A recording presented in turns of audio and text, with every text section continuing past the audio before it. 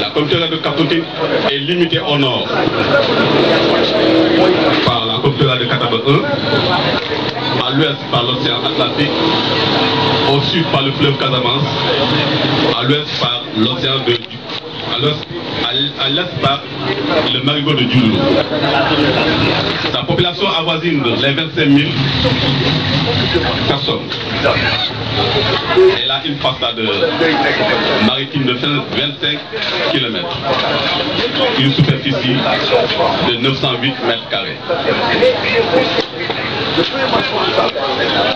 L'activité économique concerne l'agriculture, la pêche, l'artisanat, le tourisme, l'industrie et à l'état embryonnaire.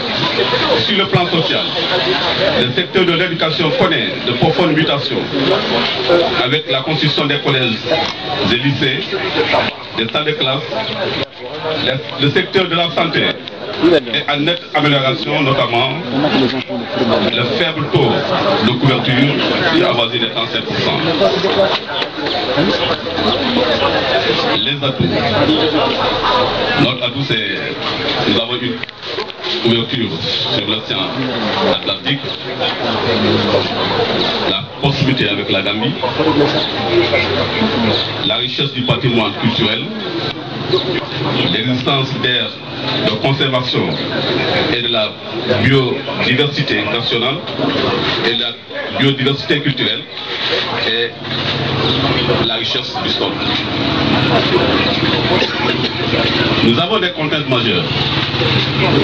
Les villages insulaires sont aujourd'hui confrontés à, à l'acclavement, ce qui constitue un handicap pour le développement de ces localités où la question de mobilité se pose avec acuité.